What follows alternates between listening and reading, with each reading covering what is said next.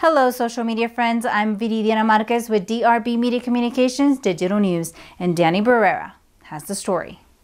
Representatives with Martin County and the City of Stanton held a ribbon cutting ceremony at the Bob Deavenport Memorial Food Pantry for Martin County. The new pantry will serve those families that are in need within the community. This is uh, truly a miracle of what small communities can do. This facility is one of a kind.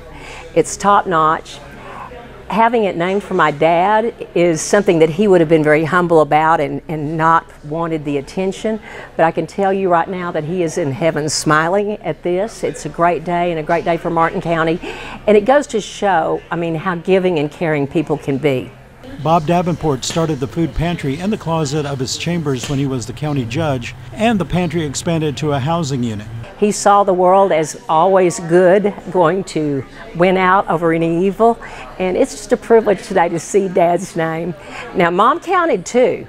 I mean, she was the wind beneath his wings. She was the steady one, soothing one, uh, just always being there, uh, always fixing him whenever he needed a pep talk, and making sure his bag was packed when he needed to go. The new food pantry will provide food, clothing, and kitchen items, as well as help with utilities to the needy of the Martin County, Stanton, Texas community. There's always been a need. I, I think it's actually been pretty steady. Um, with COVID, um, we didn't really see much of a, a, rise, so it's just been pretty steady. There's an application process. Um, if they just come up to the lobby and we'll, we'll help them there. Some of the food will be provided by the West Texas Food Bank and the Martin County community. Um, most of ours comes from the food bank, but um, we do have local people do uh, food drives for us. The hospital did one for us. Um, there's a spa downtown that did one for us. The schools do one for us every year, so we also get stuff like that. The Bob Deavenport Memorial Pantry will serve Martin County, Stanton, Grady, and Ackerly.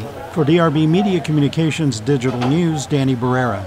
Thank you for following us on YouTube, Instagram, Facebook, and Twitter and at DRB Media Communications Digital News.tv. For DRB Media Communications Digital News, Viridiana Marquez.